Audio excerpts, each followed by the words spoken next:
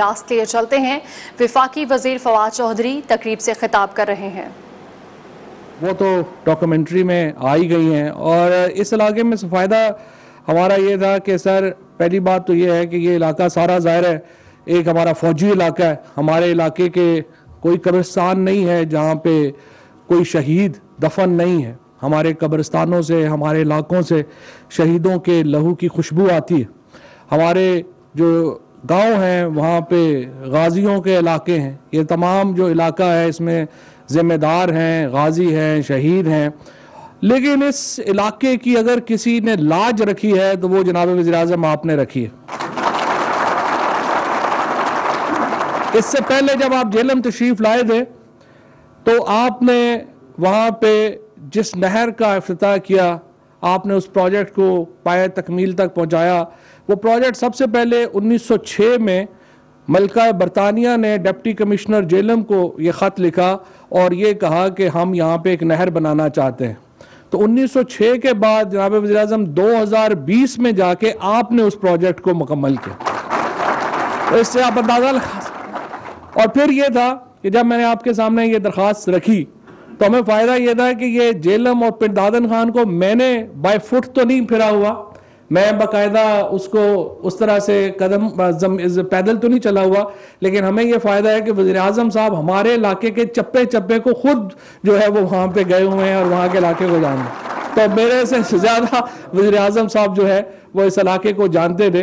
अब, सर, जिस तरह से हमने डॉक्यूमेंट्री में ये दिखाया है, बुनियादी तौर के ऊपर तीन सड़कें हैं जो north Punjab road network constitute करती हैं। आपने इससे पहले सरदार उस्मान बुजार साहब ने मेहरबानी की। हमारी कश्मीर की जो सड़क थी, मंगला रोड, जैसे मंगला मीरपुर रोड कहेंगे या दीना मंगला रोड कहेंगे, वो रोड जो है, वो डुअल कैरेज वे वो बन गई, वो मुकम्मल हो गई। अब हमने उस पर दरख्वास्त की है कि एक ब्रिज अगर हो जाए तो वो फिर पूरी एक रोड पूरा नेटवर्क बन जाता है। उसका सर फ़ायदा ये हो गया है कि कश्मीर से सदर साहब बैठे हैं वजी अजम साहब बैठे हैं, जो सारी ट्रैफ़िक है, उसको एक एक्सेस मिल गया है कि वो इस रोड पे आ सके। उसके बाद उसका दूसरा हिस्सा, सर, ये है कि जो जीटी रोड है, इससे हमने ये जेलम लिल्ला रोड के ज़रिए जीटी रोड को हमने कनेक्ट कर दिया मोटरवे से। लिहाजा अब जो कश्मीर की ट्रैफ़िक है, उसको लाहौर या रावलपिंडी नहीं जाना पड़ेगा, जो कराची जाना चाहते हैं, फैसलाबाद जाना चाहते हैं, मुल्तान जाना चाहते हैं, वो इस रोड से सीधा जाएँगे और उनको कई घंटे उनका सफ़र जो है वो आसान होगा। उसके साथ साथ अब तीसरा जो आज आपने मीटिंग भी सुबह की और जो बड़ा ही अहम प्रोजेक्ट है, वो सियालकोट मोटरवे को आप एक्सटेंड कर रहे हैं रावलपिंडी तक उसके नतीजे में ये एक पूरा एक नया इलाका, इसका एक फ़ायदा ज़ाहिर है, हमारे इलाकों को, चकवाल को, जेलम को, मीरपुर को, गुजरात को और जो बाकी इलाके हैं, उनको तो होगा ही होगा। इसका फ़ायदा इस्लामाबाद को होगा। क्योंकि सर, इस्लामाबाद में जिस तरह से आप बहुत ज़्यादा पहले भी इस पर एम्फेसिस कर चुके हैं कि कितनी तेज़ी से यहाँ पे ग्रीन एरियाज़ ख़त्म हो रहे हैं, कितनी तेज़ी से यहाँ पे लोगों का दबाव है। तो ये सड़कें बनने से, ये रोड नेटवर्क बनने से एक पूरा नया इलाका दस्तियाब हो जाएगा, जिसमें डेवलपमेंट हो सकेगी। और इसके नतीजे में हमारे जो पूरा इलाका है, वो इस्लामाबाद का एक पैरिफ्री बन जाएगा। इस्लामाबाद का मुलका इलाका बन जाएगा। और इससे एक बहुत बड़ी आबादी जो है वो मुस्तफ़ होगी। मैं आपको ये भी मुबारकबाद देना चाहता हूँ कि इस तरह के जो प्रोजेक्ट्स हैं, वो आपसे पहले, आपकी हुकूमत से पहले किसी ने नहीं सोचे। और मैं स्पेशली शुक्रिया अदा करना चाहता हूँ असद उमर साहब का, जिन्होंने आउट ऑफ़ वे जाके इस प्रोजेक्ट को जो है वो सपोर्ट किया। उसकी जो यहाँ पे वजह रही है कि हमने जो हमारे तमाम इलाके देखे हैं, पिछली जो मोटरवे भी बनी है आप देखिए कि उसमें भी इन्होंने ये किया कि फलाने की ज़मीन है तो उसको बेनिफिट बनाने के लिए इस तरह की ज़मीन दे दें। फिर आपके सामने जिस तरह से ज़मीनों के रेट्स को खिला गया जिनके साथ, यानी अगर रेट आज देखें कि 2021 में जो रेट ज़मीन, जो सड़क बनाने का रेट है वो 2018 या 17 से आधा है।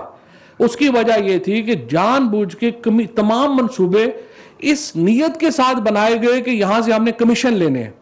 आज, अल्हम्दुलिल्लाह, आपने जो अरबों हार रुपए के यहाँ पे प्रोजेक्ट शुरू किए हैं, कोई माई का लाल, उसमें करप्शन का साबित तो क्या करना, इल्ज़ाम भी नहीं लगा सकता, ये आपकी सबसे बड़ी कामयाबी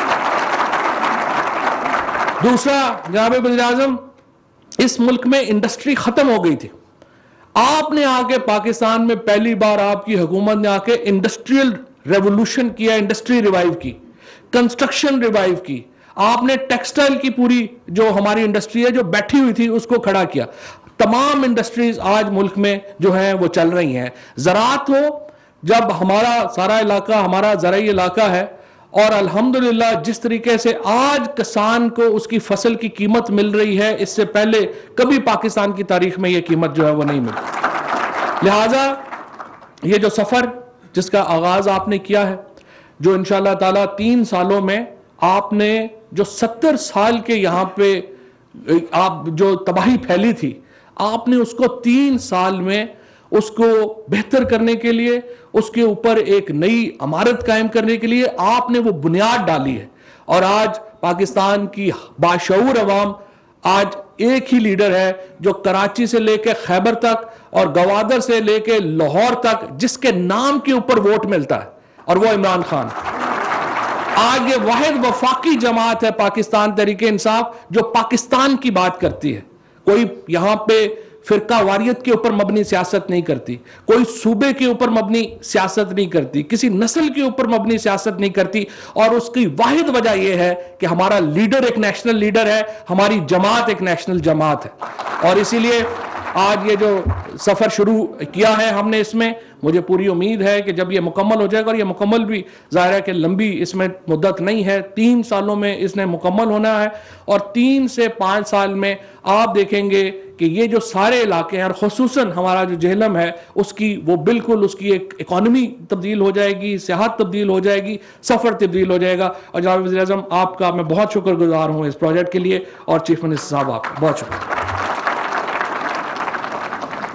लहता जहलम शाहरा का संग बुनियाद रखने की तकरीब का इनका किया गया है। वजी अजम इमरान खान तकरीब में शरीक हैं जबकि विफाकी वजी अतलात फवाद चौधरी तकरीब से खिताब कर रहे थे।